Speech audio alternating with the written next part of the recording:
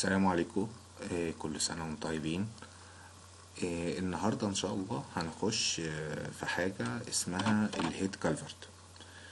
آه، قبل ما أخش في الهيد كالفرت أعرف الأول يعني إيه كالفرت. الكالفرت عندنا بنعمله لما يكون عندي ترعة وطريق والاتنين قاطعين بعض. ما ما ينفعش أوقفهم هنا لازم يكملوا. آه، طيب أنا عندي احتمالين. يا إما أحترم الطريق أسيبه زي ما هو كده والترع هو اللي هي اللي هغير فيها. يعني لو الترع عديتها من تحت الطريق يبقى هيبقى كالفرت في مواسير. ودي الحالة بتاعتنا.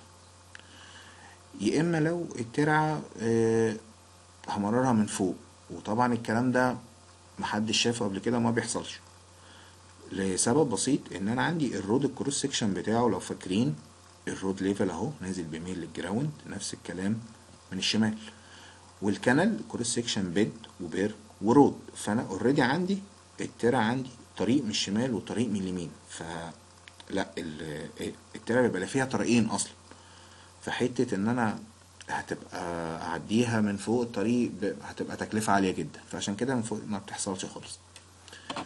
يا إما أنا عندي آه، الترعة آه، بتبقى موجودة هنا. والطريق هو اللي بقى إيه؟ أعديه من تحتها وساعتها هيبقى نفق. أو آه، الطريق هو اللي يعدي من فوق وساعتها هيبقى كوبري. ودي الحالة ال- آه، الغالبا بتكون موجودة. آه، حتى إحنا بنستغل الكوبري ده عشان نعمل قناطر. آه، فاكرين قنطرة الفم في بداية كل الترع والحاجات دي؟ خدناهم في الترم اللي فات. آه هي. آه، دي الحالة الغالب اللي إحنا بنع- بنعملها. بس آه، إحنا دلوقتي إحنا عايزين نعمل كالفرت أنا لأسباب معينة أجبرت إن أنا أعمل خلاص. هعمله إزاي؟ طيب مبدئيا لازم نعرف الأنواع اللي عندي في الكالفرت أنا عندي ثلاث أنواع. آه، النوع الأولاني هو الهيد كالفرت وده بيبقى في بداية الترع الصغيرة اللي هي ترع فرعية أصغر. إيه، منين؟ أنا عندي ترعة رئيسية زي ما قلنا. كل ترعة بيبقى ليها طريق من الشمال وطريق من اليمين أهو. فالطريق اللي من اليمين ده قطع الترعة الفرعية في البداية هنا. فهنا بقى اسمه الهيد كالفرت. ونفس الكلام في الآخر هترمي في مصرف. فالمصرف برضو له طريق يمين وطريق شمال. فهيقطع برضو الترعة الفرعية. فهيبقى اسمه التلسكيب كالفرت. أدي النوع الأول. وادي النوع التاني. النوع التالت ما هو مش معقولة الترعة الفرعية دي هتكمل من أول للآخر بطريقين بس مش هتعدي كمية العربيات اللي هتبقى موجودة. ففي طرق بعملها في النص. فأي طريق في النص ساعتها هيبقى اسمه control culvert ودي الحالة الع... العامة. ال head وال tail escape هي الحالات الخاصة. طيب آه، هنشتغل فيها إزاي؟ زي ما إحنا قلنا هنا إن الحالة العادية بتاعت ال culvert بيديني ال cross section بتاع الطريق وال cross section بتاع الترع. وبيقول لنا عايزين نعمل culvert في الحتة دي. طيب في حالة ال head culvert أنا عندي هنا بيديني ال cross section بتاع الترعة الفرعية وال cross section بتاع الترعة الرئيسية. زي ما شفنا هنا لازم يكون موجود ال cross section بتاع الترعة الرئيسية وال cross section بتاع الترعة الفرعية. وعايزين نعمل ال head culvert من التصميم الهيدروليكي آه، بحدد الأبعاد أو يكون الدكتور مد- مدينا الأبعاد already فهبتدي هرسم إزاي؟ أنا عندي حالتين. يا إما ال bed اللي هو بتاع الترعة الفرعية ده هو هو نفس المنسوب بتاع ال bed بتاع الترعة الرئيسية يا إما الحالة التانية الاتنين مختلفين. هنشوف الحالة الأولانية والحالة التانية. مبدئيا كده افرض دايما إن ال bed هو ال bed خلاص. مش هتزاول في الحتة دي دلوقتي. لما أجي أرسم بقى هعمل إيه؟ آدي ال center line بتاع الترعة الرئيسية وآدي ال cross section بتاع الترعة الرئيسية. طيب ده ال elevation. ال plan. آدي ال center line اللي هو بتاع الترعة الفرعية. فآدي رسمت cross section بتاع الترعة الفرعية. اللي هي عشان أنزل الخطوط المساعدة اللي هبت... اللي هبتدي أعمل بيها الرسمة بتاعتي. طيب باشمهندس آه، في هنا B culvert. هحط هنا B culvert ولا ال B بتاعت الترعة الفرعية؟ لا أنت في البداية هنا فحط ال B culvert لأن المية على طول أول لما هتخش هنا على طول من الترعة الفرعية هنا في ال culvert على طول. فهبتدي بال B culvert وبعد كده هشوف يا إما هوسع يا إما هضيق تمام؟ هو في الغالب لو مربع يعني فهتوسع بعد كده لأن ال B دي هتكون كبيرة يعني أكبر من ال B culvert. بس أنا خدت ال نص ال B culvert فوق ونص ال B culvert تحت. طيب وبعدين؟ آه، بحط آه، الحوائط عندي box ولازم أن تكون box عشان هتتحط في ال- المسافة بتاعة ال berm دي بس. فالمسافة دي بتكون صغيرة.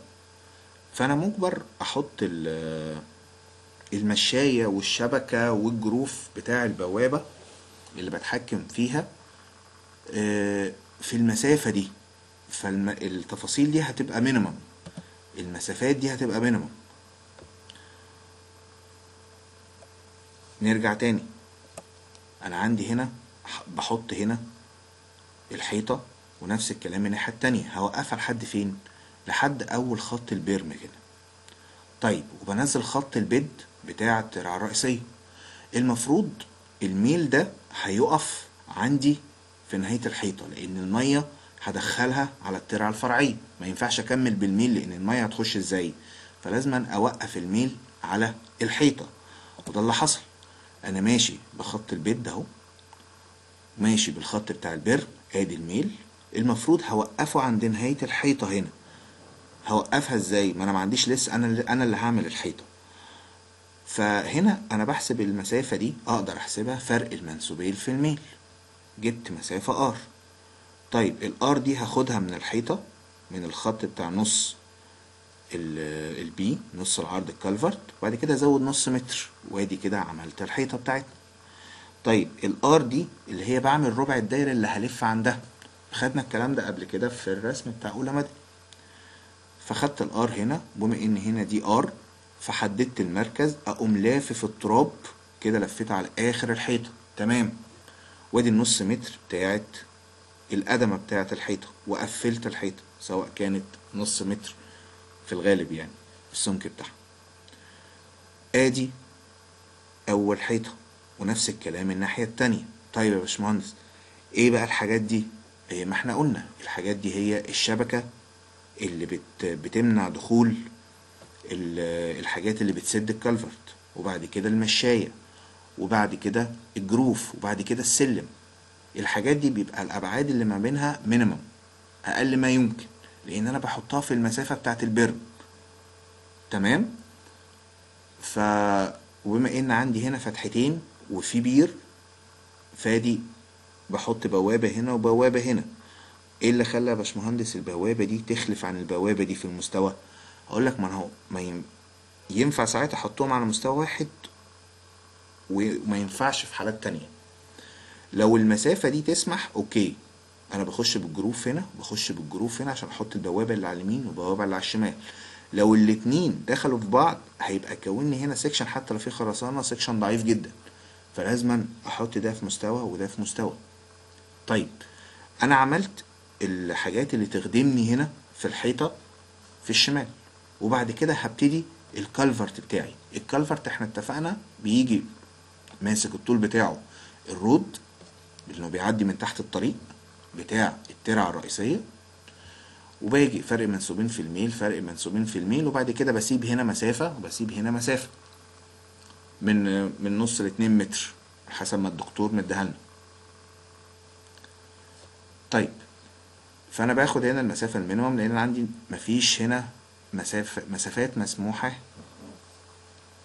كبيرة. وهنا نفس الكلام. طيب وادي الطول بتاع ال culvert هاخده بأبعاده أنا عندي هنا فتحتين خلاص أدي فتحتين. هنا الاتنين دول dotted اللي هي النقطة دي والنقطة دي وهنا dotted و straight اللي هي النقطة دي والنقطة دي. طيب أن النقطة ال straight أهي؟ لأن أنا عندي من ال center line كده هو حتى بيقول لنا نرسم بلان هاف ايرث ريموفد يعني أنا التراب شايله من النص ده النص التحتاني النص اللي فوق فيه تراب عادي. فعشان كده الخط ده باين. إنما اللي جوه ده دايما hidden طيب والبير هو hidden في النص. النقطة دي والنقطة دي؟ طيب ومكمل لحد النهاية. آدي رسمت ال- الدخلة بتاعت ال- الحوائط وادي البير والبير وادي الكالفرت أهو.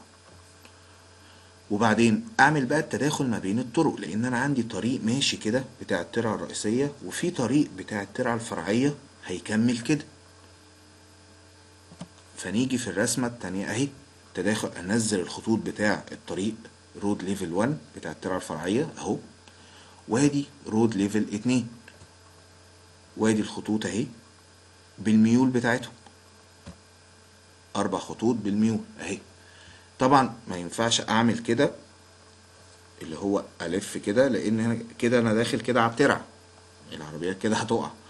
فلا فأنا أنا كده كده ال road بتاع الترعة الفرعية ماشي كده. تمام. وادي ال road بتاع الترعة الرئيسية. إيه طيب يا باشمهندس انت ليه عامل الحتة بتاعة ال trapezoidal دي؟ هقول لك ثواني. هو أنا عندي هنا road level 2 و road level 1 وفي الغالب الترعة الرئيسية أبعادها بتبقى طبعا أكبر فالمنسوب نفسه بيبقى أكبر. ففي اختلاف في المناسيب road level 1 و road level 2 والمتوقع إن road level 2 هو الأعلى. لأن دي بتاع الترعة الرئيسية. هحط هنا بقى هكمل بال road level 2 ولا بال road level 1 قال لك هو كده كده ال road level الأعلى دايما ما بين الاتنين وفي الغالب هيبقى ال road level 2 بتاع الترعة الرئيسية.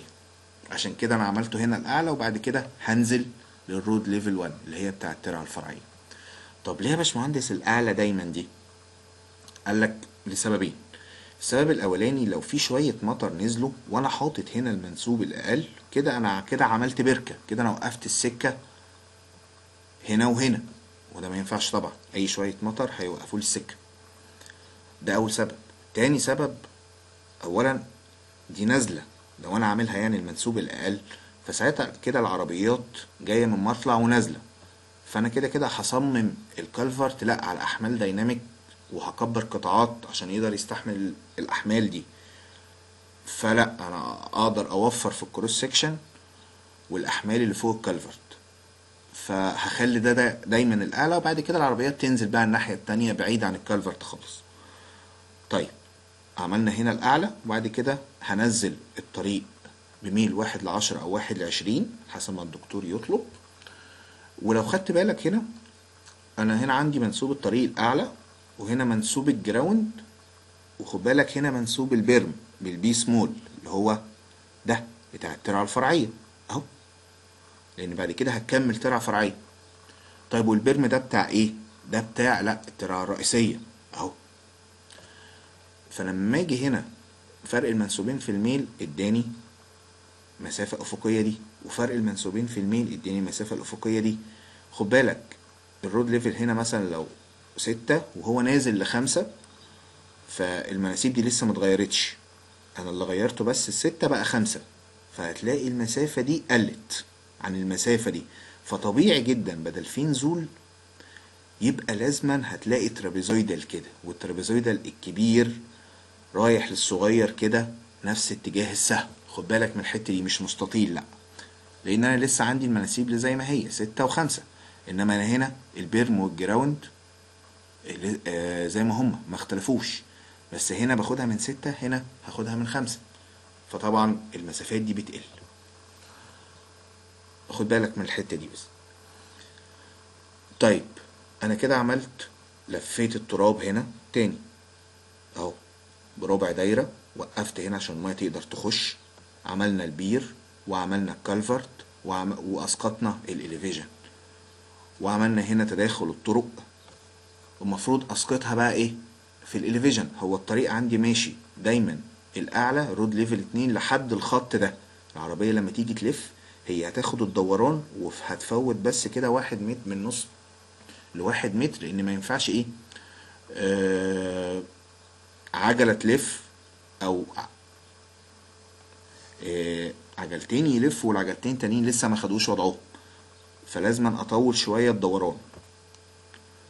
آه طيب طولت شوية فهتلاقي ال road level اتنين ماشي لحد الخط ده. فهطلع كده هقوم مكمل ال road level اتنين لحد الخط ده أهو.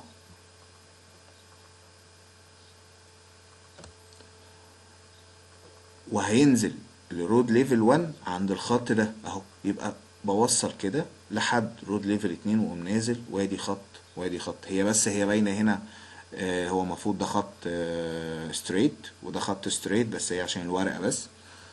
اهي زي هنا خط ستريت من الرود للبيرم والرود للبيرم طيب هنا المنسوب ده منسوب ال berm بتاع الترعة الفرعية. هنا ال berm بتاع الترعة الرئيسيه أهو أنا بقطع هنا cross section بقطع هنا. فهاجي هنا هلاقي أول حاجة ال berm خد بالك ال berm بتاع الفرعية وهنا ال berm بتاع الرئيسيه هو في ground آه بس ground ورا. فاحنا مش بنديك رسمة قدنا بنديك إيه تفهم بس المنشأ اللي عندنا شكله يبقى عامل إزاي. ال hidden مش هن مش هنرسمه. أو ال dotted بمعنى اصح. وبعد كده بقفل بقى ال culvert بتاعي ب... بال بالحوائط ال exit هيبقى box برضو. وهنا بحط السلالم والجروف هنا والجروف هنا والمشاية. وبقفل طبعا بالإيه؟ بال عندي بالخرسانة. نص متر هنا واحد ونص متر هنا واحد ونص متر هنا. تمام؟ وادي الخرسانة اللي عندي شمال واليمين تمام. نيجي بقى للحالة التانية اللي هي البيد بتاع الفرعية بيبقى غير البيد بتاع الرئيسية. هو مش مهندس أنا عندي الاتنين بيساووا بعض وعرفناهم. طيب الاتنين هيخلفوا ليه؟ هو لسبب. آه زي ما خدنا في الهيدروليك كده لما نيجي عندنا يحصل همب اللي أنا بطلع اتجاه الفلو كده وبطلع في الهيد قصدي بطلع في الأرض كده إيه اللي هيحصل؟ للميه المية هتنزل. يبقى أنا عندي بساعد في دخول المية. ده في ال subcritical لو فاكرين وإحنا مصر عندنا subcritical فدايما هتلاقي ال bed عندنا هتلاقيه بيطلع عكس المتوقع لو فاكرين. فدايما هتلاقي الأرض بتطلع عكس المتوقع فالمية بتنزل. فحته المية بتنزل دي آه فعلا ترعه رئيسية بتدي ترعه فرعية بتسهل دخول المية. وأنا عندي ترعه رئيسية مش بتدي ترعه فرعية واحدة بس. ده في اتنين وتلاتة وأربعة وخمسة وستة وكتير. فطبعا كل ما أقلل من الفواقد أكيد هتفرق معايا في المية. فده اللي بيحصل. هتلاقي البيد ده أعلى من ده. ودي الحالة اللي بنلاقيها. طيب ممكن نلاقي البيد نزلت؟ لا لا مش كتير.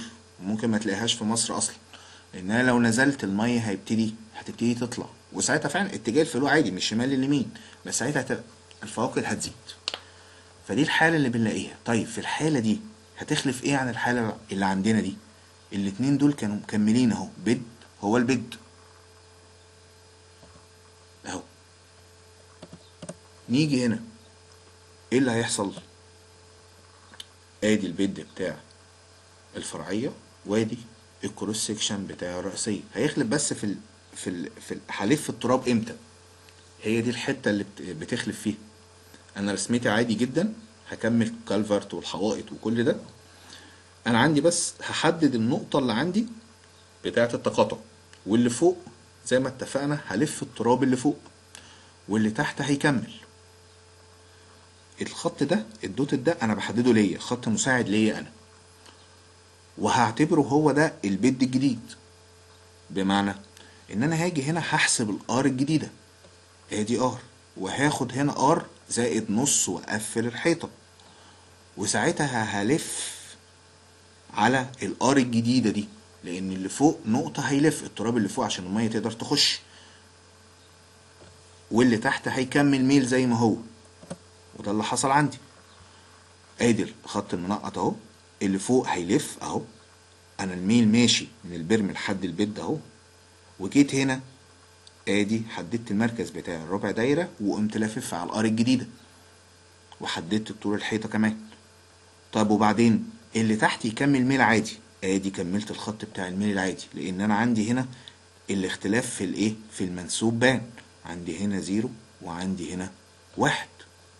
فطبعا الخط ده بيبان أول لما تبتدي تلف التراب طول ما أنا ماشي هو ما فيش أي تغير فالميل ماشي عادي. الخط المنقط ده مش موجود يعني ما تفتكرش إن هو في الرسم لأ ده خط مساعد ليا. أول لما أجي هنا للدوران نقطة الدوران اللي هي على مستوى آه على مسافة ار اللي أنا خد واخدها من هنا فرق المنسوبين ده من ده في الميل. فهلف الربع دايرة وبعد كده الميل هيكمل زي ما هو كأني مسكت الميل ده قسمته نصين نص قفل على الحيطة والنص كمل عادي. وادي منسوب ال zero وادي منسوب الواحد هو ده الاختلاف وبعد كده هتكمل عادي رسمتك مفيش أي